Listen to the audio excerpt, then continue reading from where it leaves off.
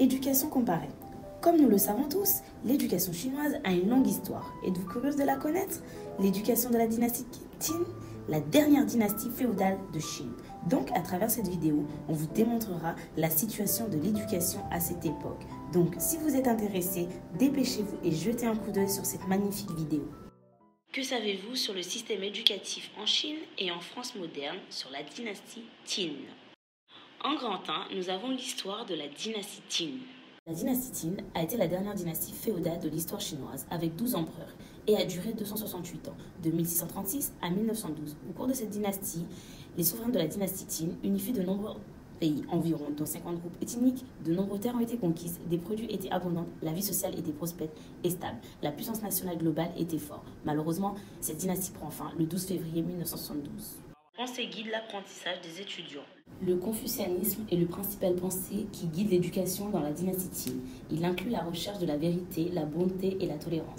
Il met l'accent sur l'idée que les étudiants apprenants doivent être utiles aux affaires nationales et préconise l'intégration de la recherche universitaire dans la résolution des problèmes sociaux. En outre, il considère l'histoire d'un point de vue développemental et croit qu'il existe des règles pour le développement de l'histoire. Dans la prise de décision politique, les décisions doivent être constamment modifiées en fonction de la situation réelle. En deux, l'ancien système scolaire chinoise. Qu'apprennent les étudiants?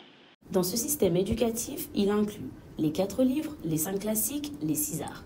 Les six arts demandent aux étudiants qui maîtrisent six talents fondamentaux, dont les rites, la musique, le tir à l'arc, la loyauté, la calligraphie, mais aussi les mathématiques. Qui a construit ce collège était le plus haut institution éducative et de l'organe administratif de l'éducation établi par l'État pendant les dynasties Huan, Min et Qin, et le seul site ancien entièrement préservé par la haute institution de l'enseignement en Chine. Quel est le style d'architecture?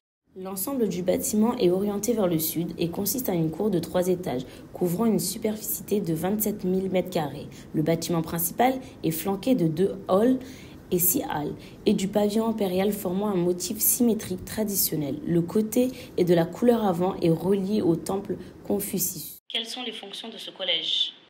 Quelles sont les fonctions de collège Cette école est la plus haute institution d'apprentissage dans la Chine féodale ancienne. Elle remplissait deux fonctions, celle d'organe administratif de l'État et celle de plus haute institution d'apprentissage de l'État. Par opposition au Taixue, qui est la plus haute institution d'enseignement où l'État enseignait les écritures et la doctrine, le Guozijian assurait davantage une fonction éducative et administrative pour l'État. En même temps, cependant, le Guozijian et le Taixue étaient également utilisés de manière interchangeable, et le Taixue était souvent utilisé pour désigner le Guozijian. 3. Les réussites scolaires. Le système d'examen impérial. Impérial est un système par lequel l'État sélectionne les fonctionnaires par l'examen. C'est un système politique important dans la Chine ancienne qui a eu un impact énorme sur la société et la culture chinoise. Ce système est, mis en place depuis 1200 ans. Cet examen était organisé sur une base régulière sous la dynastie Qing. L'examen était basé sur la Baguren. C'est un essai écrit de 8 parties avec un format fixe. Le plus, c'est un examen qui permet aux étudiants issus de familles pauvres ou riches de servir la cour impériale. Avantages et les inconvénients de l'examen impérial.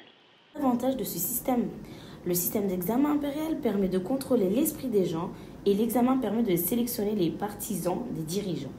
Le système d'examen impérial a permis de briser les chaînes de classe elle a brisé le monopole de l'aristocratie en politique. Il était la forme la plus équitable de sélectionner des talents qui pouvaient être adoptés à l'époque féodale. Le système d'examen impérial était propice au développement de l'éducation et de la prospérité culturelle. Le système d'examen impérial facilitait la diffusion culturelle chinoise. Le système d'examen impérial a été une source d'inspiration pour sélectionner des talents dans d'autres pays sous l'influence des missionnaires et des pays occidentaux. Les inconvénients. Le système d'examen impérial emprisonnait l'esprit des gens. Les examens standardisés emprisonnent l'esprit des candidats, les empêchent d'exercer leur liberté et perdent progressivement leur sens de l'autonomie et de l'entreprise.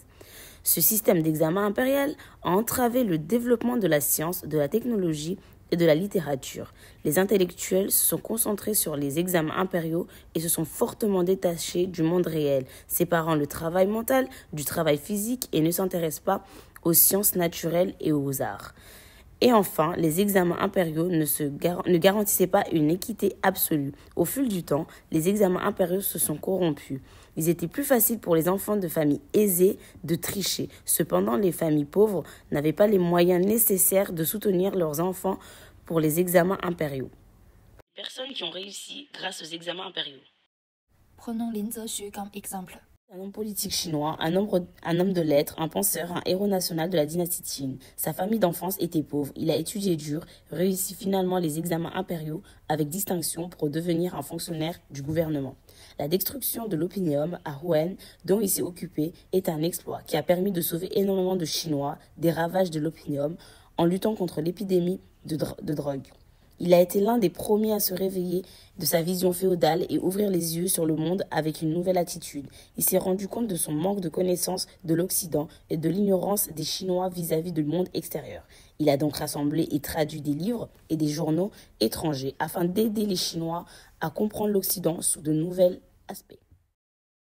Diffusion de la culture chinoise en France, institution Confucius diffusion de leur culture grâce aux institutions Confucius. Devez savoir que l'institution Confucius est une institution publique culturelle à but non lucratif établie par la République populaire de Chine dans de nombreuses villes du monde depuis 2004. Son but est de diffuser l'apprentissage des langues et également de diffuser leur culture.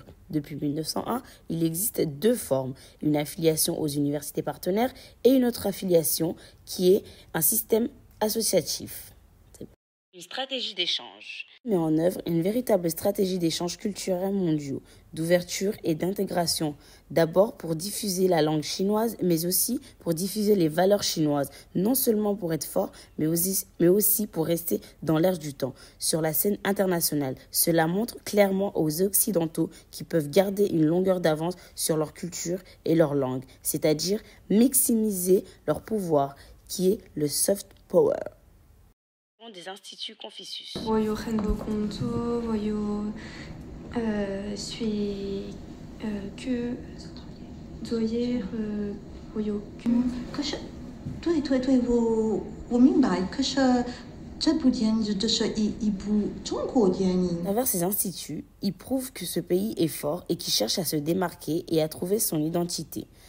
Il y a un politique derrière tout ça. En France, il existe 17 instituts Confucius implantés un peu partout dans le monde qui est tendance vers les coopérations et l'interaction afin de mutualiser les projets pédagogiques et culturels.